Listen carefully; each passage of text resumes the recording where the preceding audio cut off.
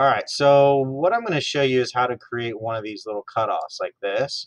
And now in Inventor, we used to just make a plane and then split the plane, and it would let you just cut it off of the plane.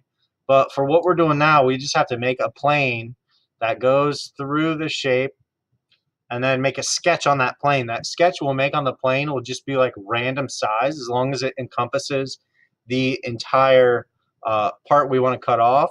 Then once we make that giant blob on that plane, we just hit extrude and remove it. Okay, so I'm going to do that down here. Okay, now what you have to do is create um, some, you have to create a couple points. Okay, so now this may say like uh, this bottom cutoff is like 10 millimeters up here and 30 millimeters back here and then the full depth. Okay, so you take that information and then you have to put in points. Okay, so I'm going to make a new sketch on this surface. And this one, so the point is right here. It's a little dot point.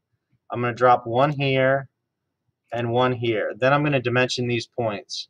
Hi, Lucas. So what I'm doing is showing you guys how to make these clipped corners. Okay. Um, so I put in two points. According to my drawings, it said that this point, so dimension corner to corner, uh, oh, this one's in in uh, inches, so that's fine. Let's say it told me this one was half an inch up.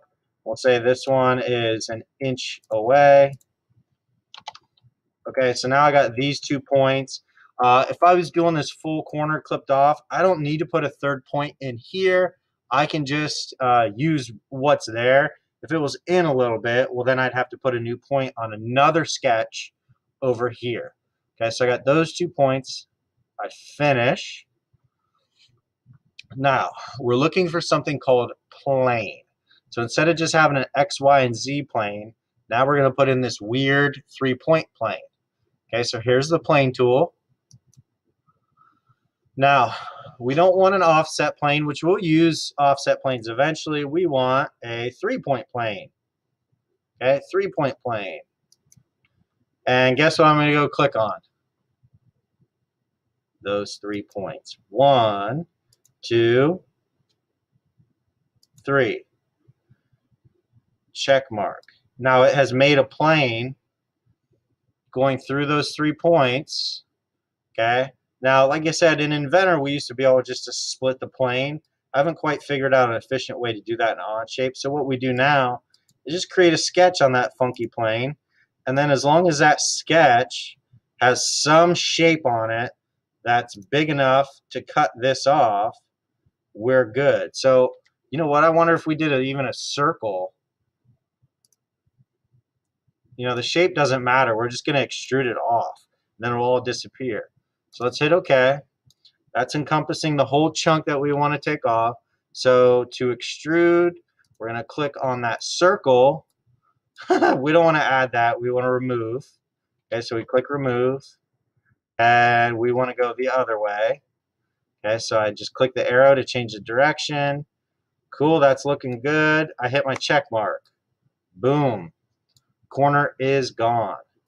Okay, now uh, just from a cleanliness standpoint, if you want to hide some of these ghost images and these planes, you just go over here. A lot of times, whenever you see like a plane or a sketch uh, visible, like it's black, that means it's a sketch that we haven't created any kind of 3D geometry off of, which we didn't really create 3D geometry off those points. We just used the points to make a plane. So it's not a consumed sketch. Turn the little eyeball off, and then you'll see your drawing start to look a little prettier.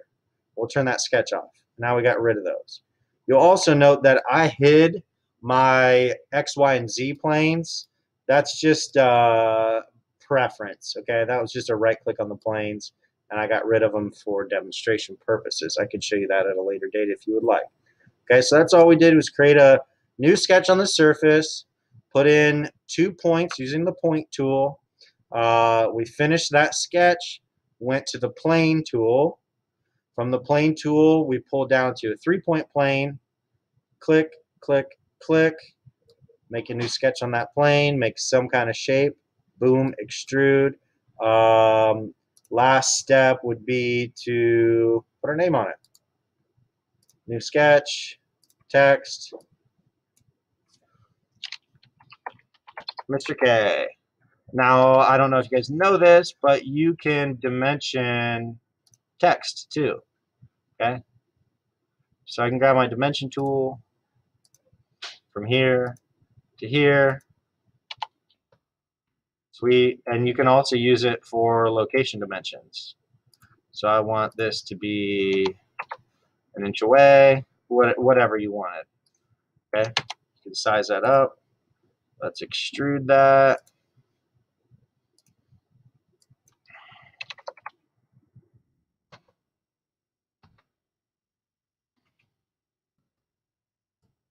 Oops. Click on it. Extrude. Yeah. Point one. Sure.